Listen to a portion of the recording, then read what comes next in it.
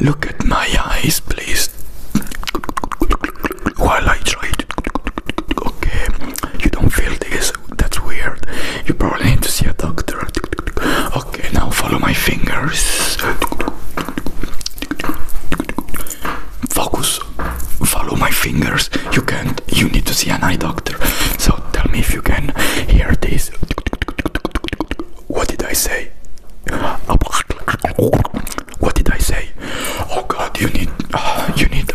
doctor, so stick out your tongue, please.